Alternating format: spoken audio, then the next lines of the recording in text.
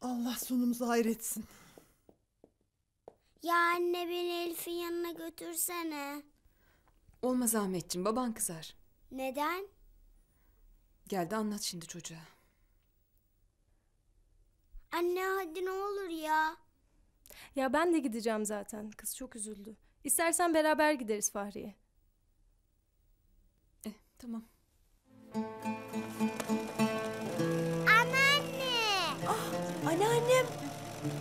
Ay canım benim. Canım. Aman da kim gelmiş? Kuzum. Maşallah. Hoş geldin. Hoş bulduk. Fazla vaktim yok. Elif'i akşam alacağım. Eşyaları orada. Ömer. Biraz konuşmamız lazım. Dün gece Muhalle Hanım'ın kapısına dayanmışsın. Olayı öğrendiğinize göre nedenini de biliyorsunuzdur o zaman. Biliyorum. Ama sebep ne olursa olsun yaptığın yanlış değil mi? Yanlış mı? O kardeşimi kaçırınca yanlış olmuyor da ben kardeşimi arayınca mı yanlış oluyor? Yaptığımın yanlış olduğunu düşünmüyorum. Görüşmek üzere.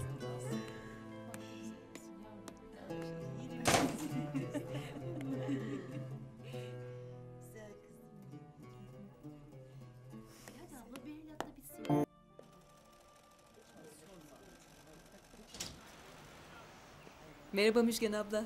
Merhaba, hoş geldiniz. Ahmet tutturdu Elif'le oynayacağım diye getirmek zorunda kaldık. Tabii tabii. Elif içeride geçin siz. Canım. Müşken abla bir şey sorabilir miyim?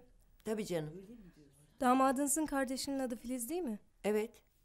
Peki damadınızla Yılmaz'ın arası niye bu kadar bozuk? Bu çok uzun bir mesele. Feride abla. Canım. Daha geniş bir zamanda anlatırım. Geçin içeriye. Peki.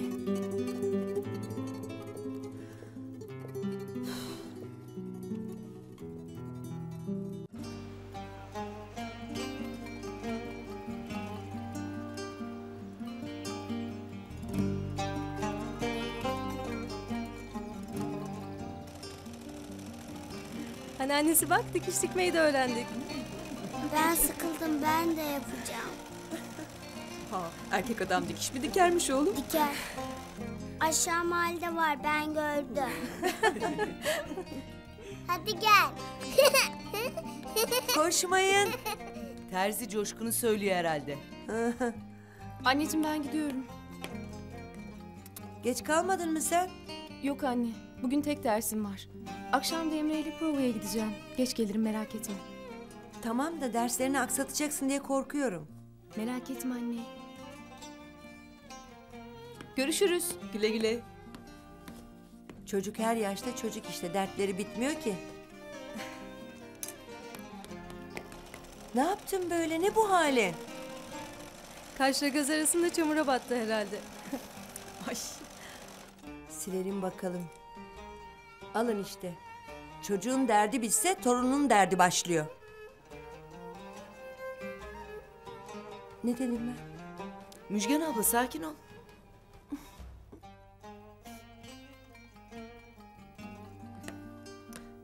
Müjgan abla ne olur. Elif'im olsaydı da sırtıma yük olsaydı. Sırtımda taşısaydım.